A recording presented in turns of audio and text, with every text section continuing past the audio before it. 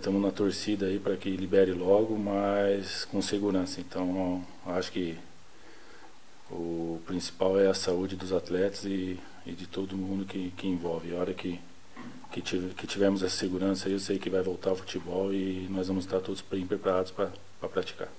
Que daqui para frente, aí, a hora que voltar, ainda é, o torcedor vai ver um, um Schumacher ainda mais com mais vontade, né, com mais facilidade ali para para jogar, né, com mais força, com mais físico, com mais mobilidade, querendo mais. Eu acho que eu evolui bastante esses, esses dias aí e espero sempre que poder ajudar, como foi ali né, contra Santa Cruz, contra o Espírito Santo, né, gols importantes e e além desses gols importantes, a minha meta é também poder jogar mais, né, ter uma regularidade maior, né, mais minutos em campo. Então a gente está trabalhando para conseguir isso.